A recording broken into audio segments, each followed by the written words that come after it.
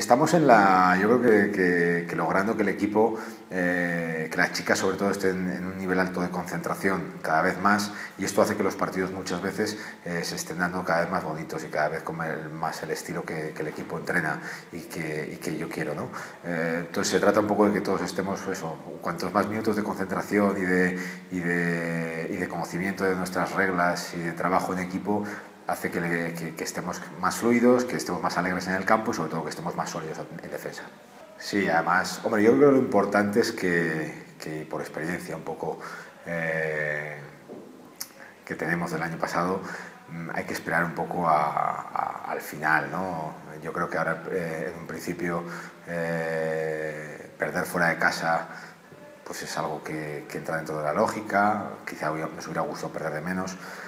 pero que los partidos de casa son vitales, eh, sobre todo cuando, cuando quieres que, el equipo esté, esté en la lucha por entrar en un playoff. Eh, con mucha paciencia, porque como tú dices, el, grupo está muy loco y cualquier victoria o, dos victorias consecutivas te meten en el grupo de cabeza, así que, que trabajar muy duro para sacar el partido mañana. Bueno, creo que es mejor, yo creo que es un equipo más, armado, jugadoras algunas del año pasado que ya tienen experiencia en Euroliga y que han fichado pues, pues dos o jugadoras de, muy buen nivel a nivel europeo, ¿no? entre ellas pues, pues una conocedora de nuestra casa y de nuestra afición como es Lucy Pascua.